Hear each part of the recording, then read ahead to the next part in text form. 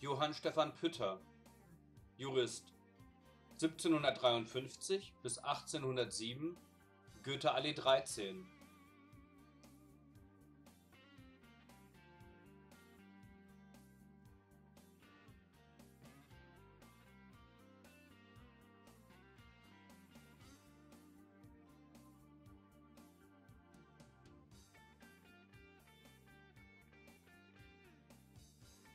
Johann Stephan Pütter Johann Stephan Pütter geboren am 25. Juni 1725 in Iserlohn; † am 12. August 1807 in Göttingen) war ein deutscher Staatsrechtslehrer und Publizist.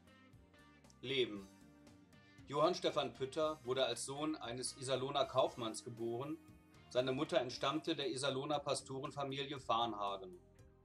Seine Bildung erhielt er ausschließlich von einem örtlichen Pfarrer als Hauslehrer. Durch diesen lernte er nicht nur Latein und Griechisch, sondern auch Hebräisch, Chaldäisch und Syrisch.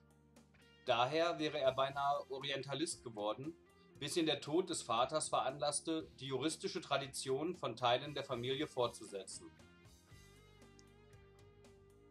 Pütter begann sein Studium mit kaum 13 Jahren zunächst an der Universität Marburg unter anderem bei dem Aufklärer Christian Wolff, wechselte 1739 an die Universität Halle, wo er mit Gottfried Archewall Freundschaft schloss, und beendete sein Rechtsstudium an der Universität Jena. 1744 habilitierte er sich in Marburg. 1746 wurde er als außerordentlicher Professor der Rechte an die Universität Göttingen berufen wo er trotz mehrerer weiterer Rufe bis zu seinem Lebensende verblieb, wohl nicht zuletzt, weil er dort die Fürsprache und schützende Hand seines Förderers David Georg Strube genoss. Selbst Angebote als Minister nach Braunschweig, als Reichshofrat nach Wien oder als Reformator des Rechtswesens nach St. Petersburg zu gehen, schlug Pütter aus.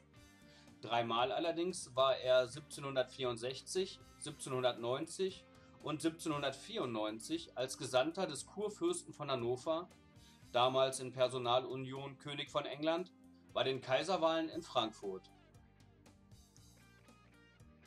Pütter war wie Archewall Mitglied der 1743 gegründeten Freimaurerloge Zu den drei Löwen in Marburg.